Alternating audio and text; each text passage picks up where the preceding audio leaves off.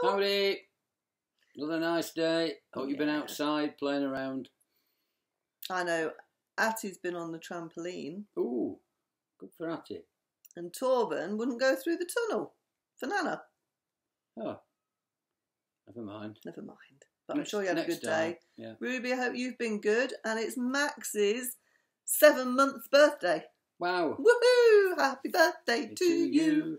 Happy Squash birthday tomatoes and stew. stew or whatever. And all that stuff. Yeah. For seven months. So tonight um, we've got another story from the 365 bedtime bedtime stories. stories. What else has got 365 things in it? You know by now because we told you twice. A jar.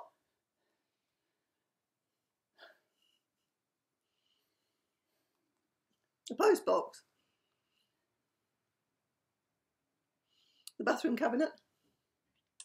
365 days in a year. Silly Nana. silly. Blimey. Not even clever enough to be silly. Pizza. Pizza. Right. Right.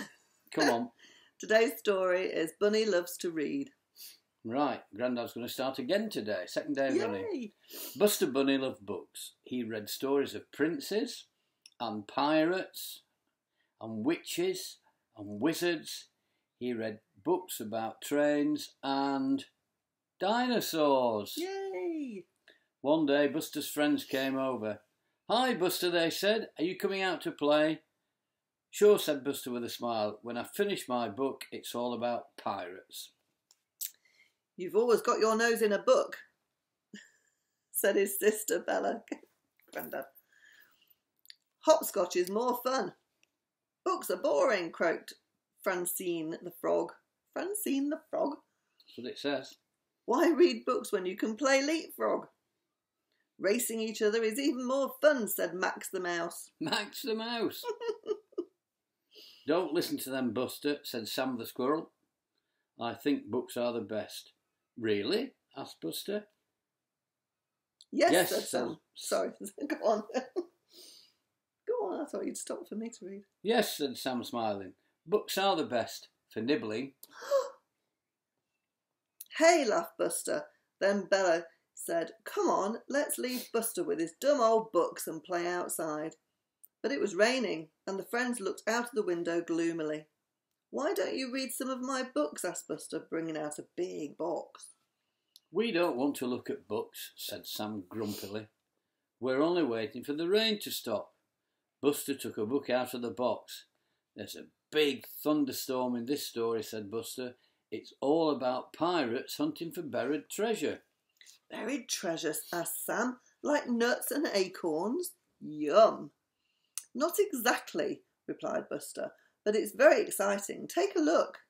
I guess there's nothing better to do, sighed Sam. Frogs really hate being stuck inside, grumbled Francine. This book is about a prince who turns into a frog, Buster said.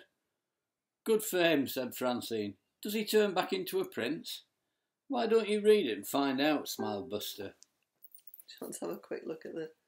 Funny Pictures. people, in it? And it's raining. It's raining Raining. outside. We don't know what that's like, do we? no, it's not raining in England. Being cooped up inside is making me sleepy, said Max.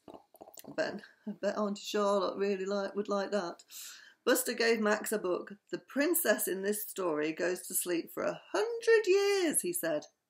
Really? Wow! How does she wake up? Read it and see, said Buster. Well, okay, but I might fall asleep before I finish it. I'm bored. I'm going to get a cookie, said Bella. Hey, Buster, your box is in my way. Can't you just step over it?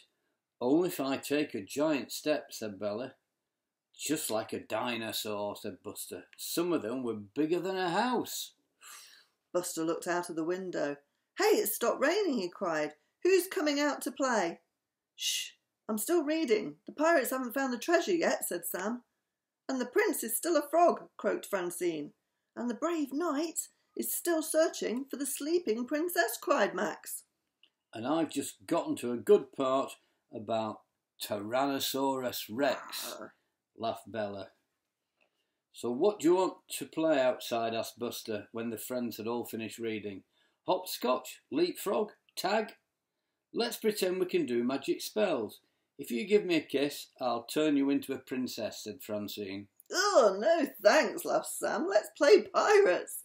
Look out, said Bella. I'm a Tyrannosaurus Rex. Roar!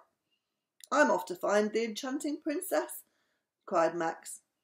They played pirates and dinosaurs and princes and princesses until it was time to go home.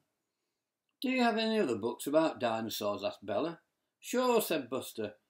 What about frogs? asked Francine. Yes, said Buster, and toads too. Anything else about witches and magic? asked, Max. Loads. Can I borrow another pirate story? Sam asked. Of course you can, laughed Buster, as long as you promise not to eat it. Ha! You eat a book because you're a squirrel. Yeah. Squirrel eats all sorts of rubbish, don't they? So that's the pictures. They're lovely.